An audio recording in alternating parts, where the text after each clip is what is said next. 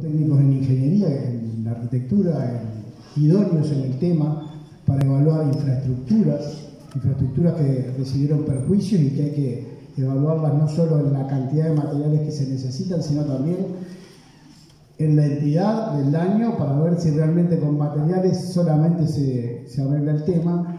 Y tiene una gran capacidad la Intendencia de evaluar los, los temas sociales que se producen a partir de estos, de estos eventos, ¿verdad? Pero para dimensionar esto y realmente el primer día hicimos un recorrido este, bastante rápido para evaluar la situación y les aseguro que para evaluar esta situación no era solamente hacer un recorrido. Eh, la dimensión del tema no se podía medir este, en, un solo momento porque era muy disperso, realmente he visto otros eventos fuertes, pero este evento era difícil de evaluar. Por lo tanto, esa, experticia que decía, ese, ese, esa metodología que había que usar, llevó a que rápidamente la, la Intendencia gestionara equipos de todo tipo. En primer lugar, había que tener un diagnóstico de la situación. ¿Diagnóstico qué quiere decir? ¿Cuántos? Yo no, no voy a hablar del, del, tema de salud, que por supuesto es el más importante si hubiese habido esos problemas, pero en la parte de infraestructura, que es la que nos tocaba, nosotros en un primer momento habíamos pensado que eran aproximadamente 400 casos, que era lo que las denuncias iban indicando, pero esto fue creciendo, como lo explicó perfectamente el secretario general, fue creciendo y a la medida que iba creciendo nosotros teníamos que redimensionar los equipos, porque acá no hay que olvidar que el evento climático fue muy importante, pero la gente que no tuvo problema con el evento climático debería seguir recibiendo los servicios de la Intendencia. Entonces sería, hubiese sido irresponsable poner a toda la Intendencia desde el primer día cuando no teníamos un diagnóstico. Por lo tanto, hicimos equipos para hacer diagnóstico, a medida que las denuncias fueron avanzando, los equipos se fueron redimensionando y como lo dijo el secretario general, se conformaron hasta 20 equipos simultáneos para ir a relevar casa por casa los daños tranquilizar a la gente de que realmente se les iba a asistir, por eso iba un asistente social. Y una vez evaluados los daños, había que procesar esos datos, ¿verdad? Hicimos lo más transparente posible, hicimos un par de conferencias de prensa a los 15 días y a los aproximadamente 20 días, eh, justamente para, para que este proceso fuera transparente. En el caso de las visitas, para diagnosticar cada una de las 1.600 denuncias, para dimensionar esto, 1.600 casas con afectaciones, que al final no terminaron siendo tantas, pero las 1.600 denuncias equivalen más o menos a la ciudad de Ichón. Estamos hablando de un evento donde tenemos que recomponer los techos de casi una ciudad entera como Ichón. Entonces, situados en, este, en esta situación, nos propusimos que más o menos al día 20 desde producido el evento, teníamos que tener todo relevado. Eh. Llegamos un día antes, como se dijo acá anteriormente, llegamos el primero de marzo, y esto se lo debemos este, a, a, profesionales que podían ser directores de división, podían ser este, eh, arquitectos particulares que no tenían nada que ver con la Intendencia, eran de la Asociación de Ingenieros. También, por supuesto, recibimos una buena respuesta del Ministerio de Vivienda que como bien se dijo vinieron hasta de otro lado, pero ver trabajar esa gente que no, no era su trabajo específico y que tenía que entrar a cada casa y ver una realidad que realmente duele de ver, también nosotros lo hicimos, lo hicimos todos los profesionales de la Intendencia, no importaba el rango, salió a relevar casas y salió a traer un formulario con todos los datos y por supuesto, acá hay que decirlo, tener 40 profesionales trabajando en una evaluación no da resultados homogéneos. Y bien lo dijo el intendente y lo vuelvo a repetir. El no tener resultados homogéneos no se trata de, negligencia, no se trata de problemas de técnicos, no, simplemente que hay criterios que no son idénticos. Por lo tanto, sí vamos a tener, estamos muy conformes que en el día 50 nosotros a cada una de las personas que hicieron denuncia y que visitamos le dimos una solución que seguramente en muchos casos de ellos, y ya tenemos planes para esto, va, a haber una nueva instancia de ayuda. Una vez obtenido en el primero de marzo todos los diagnósticos, en el primero de marzo, perdón, los diagnósticos completamente, este, nosotros seguimos con las entregas de materiales, pero a una de las preguntas que se hizo, ¿cómo, cómo, se, cómo se realizó la metodología? Evidentemente hay dos líneas acá para atacar. La metodología tiene que apuntar a dos objetivos fundamentales. Primero que nada, a atender aquellos casos que son imprescindibles, aquellos casos que son gente que por, por alguna vulnerabilidad familiar o por muchos hijos o por el estado de la vivienda o porque no tienen oportunidades de ir a otro lado, habría que resolverlo rápidamente. Eso complejiza el proceso, pero es lo fundamental. Primero atacar los casos, este, en ese momento el, intendente era eh, Fermín, Fariña, y quedó claramente establecido en las reuniones que hicimos que teníamos que atacar primero los temas de, como les dije, más prioritarios desde el punto de vista del daño y desde el punto de vista de la vulnerabilidad. Se trabajó desde el punto de vista social, desde el punto de vista de infraestructura, y esos casos se atendieron desde el segundo día. ¿Con qué materiales se aprovechó? Materiales que teníamos en stock del Banco de Materiales y se empezaron a hacer compras de manera que yo he tenido muchas experiencias municipales en, en esta intendencia y en otras y realmente tengo que felicitar a la dirección de administración porque acá aparecen enseguida los problemas de la velocidad de la compra, ¿no? Y nosotros no tuvimos ese problema. Los, los sistemas de compra establecimos una vía rápida que realmente funcionó en forma perfecta con el contador Tomaset. Acá el problema que sí tuvimos y que tenemos que decirlo claramente fue que el, el país no está, no está capacitado para este tipo de eventos. El, caso típico de los ladrillos no fue solo los ladrillos, lo tuvimos también con las chapas. Y un poco dando respuesta a lo que la señora Edil preguntaba. Eh, los barraqueros de Paysandú salieron a decir que tenían chapa, pero salieron a decir que tenían chapa, nosotros ya habíamos comprado chapas en Paysandú, a pesar de que teníamos la promesa del SECOED, porque la mayor fábrica de chapas del Uruguay, que era quien por licitación, por transparencia, le había comprado el SECOED, desde el gobierno central, eh, estaba fabricándolas, pero no daban, no daban abasto con lo que nosotros teníamos como capacidad de reparto. Entonces, eh, a veces, eh, ojo, legal, legalmente los barraqueros de Paysandú querían vender y nosotros hubiésemos querido comprar, pero la licitación no les dio el favor, la cristalinidad del proceso no les dio a ellos la posibilidad de, de darnos 10.000 chapas y por lo tanto tuvimos que esperar al proveedor más grande del Uruguay a que nos entregara la chapa y realmente nos, estableció el ritmo y seguramente cualquiera de los que participó en esto puede saber que en un momento estábamos esperando chapas. Le doy el ejemplo de la chapa, le doy el ejemplo del ladrillo, donde el ladrillo nosotros nos pusimos en comunicación con el presidente de los ladrilleros del Uruguay. Realmente me enteré en este momento que existía un presidente de ladrilleros que recorrió el país entero. Justo estábamos en un tiempo, como bien lo dijo el intendente, donde hacer ladrillos este, no, no, está siendo, no está siendo muy rentable porque el tiempo, las lluvias intermitentes y el invierno no permiten una producción muy rápida. Como ya lo contó y no quiero aburrir, este, conseguimos ladrillos por todo el país. Tuvimos algunos inconvenientes de que para comprar los últimos 50.000 ladrillos los precios que nos ofrecían eran más o menos como los primeros 200.000. Este, empezaron a, como se dice vulgarmente, a subirse al carro. Pero bueno, ahí tuvimos la, solidaridad de la gente de, Río Negro, que nos, buscaron los ladrillos, nos encontraron los ladrillos y nos mandaron los ladrillos. Y a la otra pregunta que se hace, sí, a esta velocidad de respuesta, que yo lo digo técnicamente, es una respuesta con, con un ritmo muy bueno, hay que sacar cuenta, nosotros en 50 días se pudieron trabajar aproximadamente 40. porque Nosotros trabajábamos los domingos, los feriados, este, la gente, la gente de la Intendencia y los, voluntarios,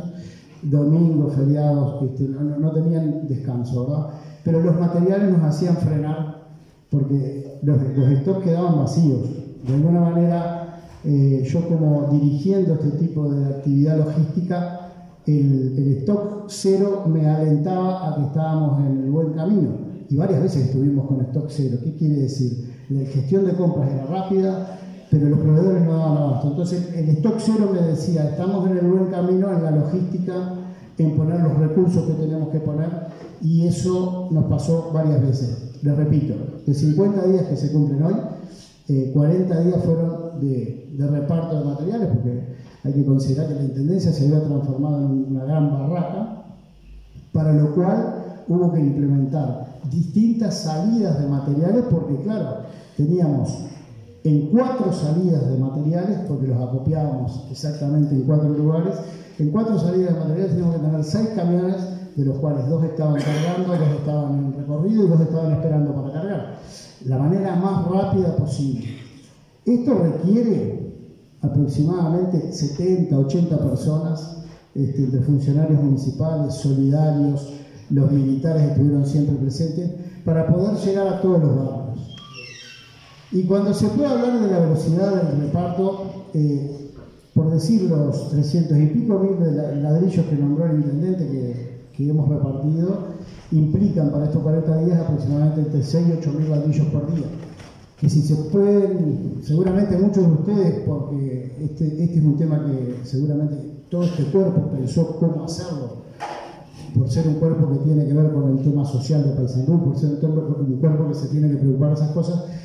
y algunos se habrán imaginado cómo se reparten los ladrillos casa a casa en el barrio norte, en el P3, en el Curupí, con calles estrechas, y se reparten a mano. Se reparte con gente como se hacía antes. No hay palet, no hay, no hay manitú, se reparten a mano. Entonces son 8.000 ladrillos por día aproximadamente repartidos a mano, con gente que realmente este, emocionaba verlos porque si uno, si uno se pone a medir eh, los rendimientos de la gente, a veces como profesional se enoja un poco cuando no los hay. Pero en este caso la satisfacción era muy grande porque se mejoraban los rendimientos y seguramente eh, era por un tema de solidaridad. La gente trabajó bajo lluvia, la gente trabajó en horarios que no acostumbraba a trabajar y, por lo tanto tuvimos la, la satisfacción de en aquellas dos oportunidades que dijimos cuáles eran los planes que teníamos, haberlos podido cumplir en tiempo y forma. Y eran planes que eran muy exigentes para lo que es la media de, lo que se puede hacer en este tema de la logística. Sí tengo que decir que a partir de, la escasez de ladrillos en el Uruguay, este, tuvimos que recurrir a todos estos lugares que les dije y eso nos marcó el último ritmo que si bien la respuesta en el 10 de agosto estaba dada en todos los materiales, el ladrillo nos llevó hasta hace pocos días repartir. Y por último, para dar respuesta a las cosas malas que también hicimos, porque evidentemente en esto, como le dije, la metodología se iba haciendo en función de los datos que íbamos recibiendo,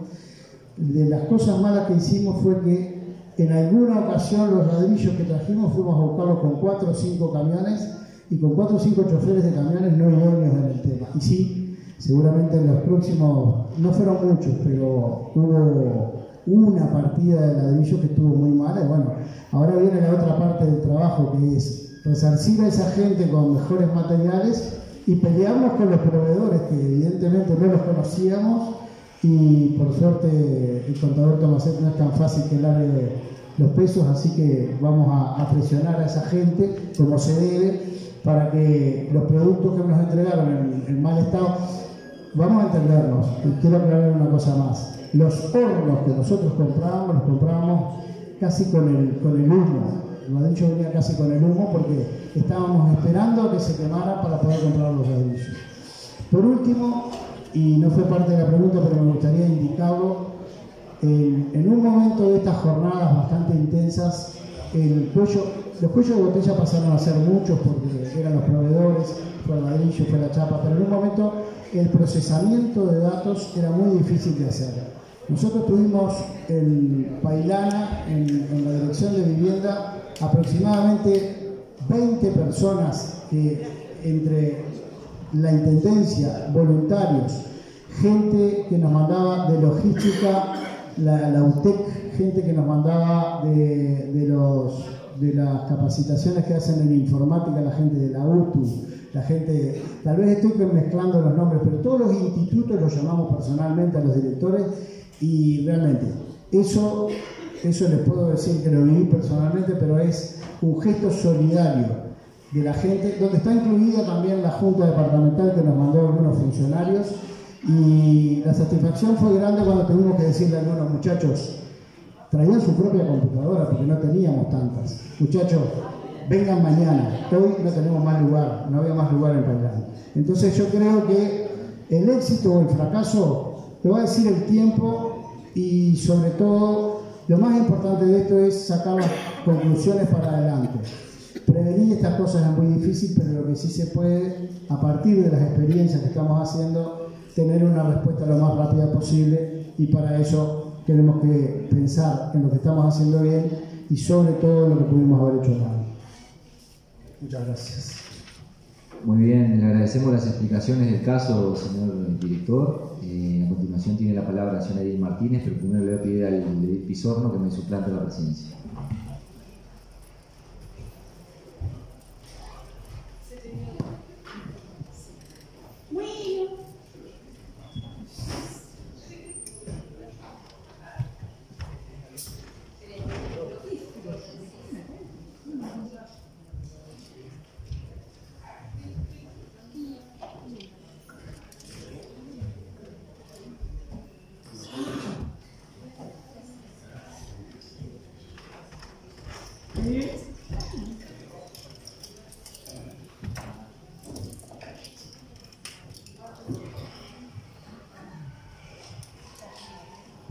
Tiene la palabra la señora Martínez. Gracias, señor presidente.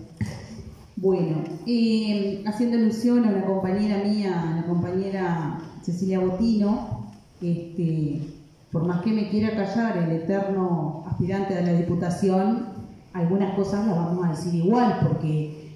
por algo estamos en este lugar. Yo celebro el informe último del director Máxico porque a pesar de algunas diferencias que podamos llegar a tener, fue el más concreto refiriéndose a las preguntas que habíamos hecho. Porque una cosa es parecer y otra es ser. A mí me conocen todos, yo ando en la brigada, a mí de solidaridad no me va a venir a dar cátedra ninguno, y de conocimiento de territorio y de algunas cosas que hemos hecho, tampoco. Cuando hablan de eh, números fríos, nosotros donde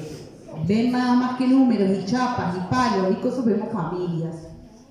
Con respecto a que decía que la departamental de salud se hacía cargo con respecto a lo que era la salud, a mí hay cosas que, temas que tocan y que hablan que de verdad me dan vergüenza ajena y que creo que subestiman a la gente. El día 5 de agosto nos reunimos con la UDELAR como brigada, Participó de esa, de la brigada Agustín Pedrosa, este señor Edith, con el senador Andrade, y ahí propusimos algún tipo de taller y algún tipo de trabajo para asistir a las personas en el territorio después de este, lo que había pasado en el departamento. Yo quiero saber cuáles fueron las medidas con respecto, porque no las contestó absolutamente nadie a las preguntas y ya la hicieron, con respecto a lo que es la salud de las personas, porque no quiero que me digan que es la asistencia de ACE o la de Comepa, porque todos sabemos cuál es el prestador de salud que le corresponde. ¿Cuáles son las cosas que hicieron en el territorio?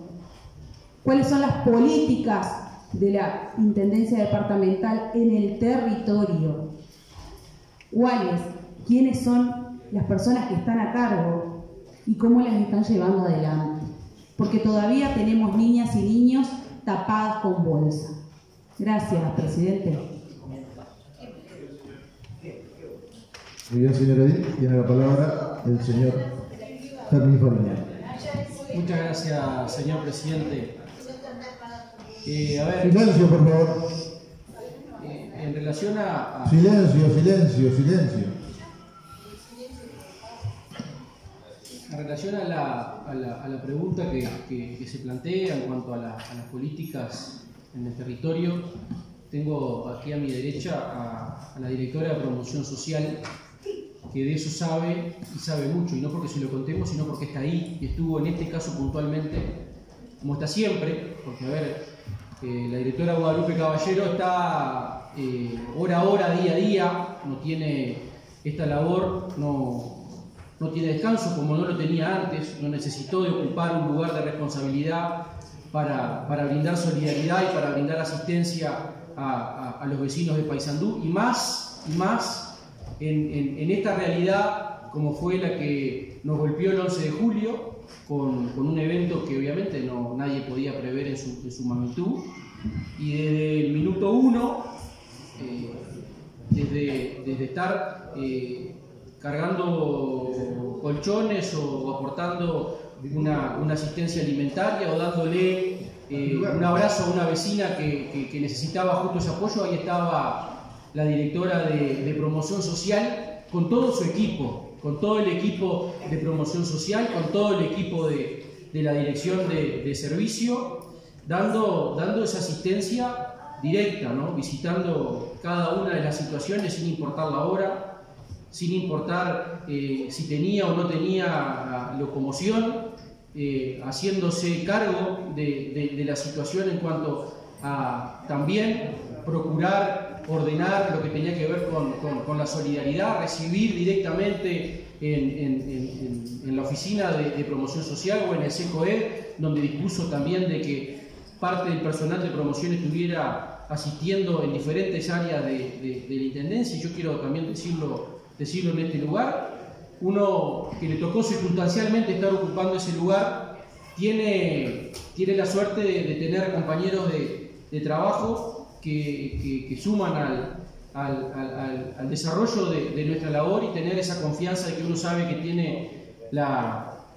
la espalda cubierta y por lo tanto cuando se lo consulta sobre las políticas que se hacen en el territorio, estoy más que tranquilo que en ese, en ese proceso, más allá de que obviamente a todos nos, nos, nos asaltó la, la, situación, nos generó una, una, una, necesidad extra de tener que pensar cómo llegar a, a, cada una de esas situaciones, porque hay que recordar que no solamente el evento climático del tiempo, sino los días sucesivos donde en, en, en pleno invierno, con días de lluvia, con días de humedad, teníamos que asistir a los, a los vecinos con, con, con, materiales, como bien dijo el, director de obras, pero en primer lugar lo que había que dar era, era, la, era la respuesta en el, en el, lugar, la ayuda en lo que tenía que ver con, con el abrigo,